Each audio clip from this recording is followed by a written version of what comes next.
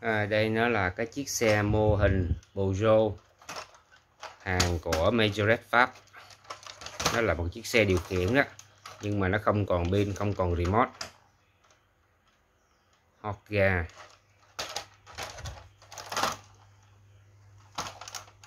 Đây nó là Peugeot Concept Car hot ga.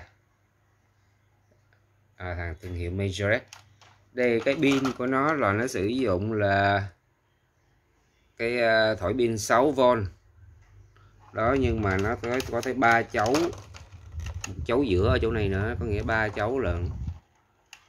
Đó, cho nên ai có khả năng thì về chế bên pin vô. Không biết cái chỗ này nó von của nó chia ra làm sao luôn. Nó là 27 MHz ha.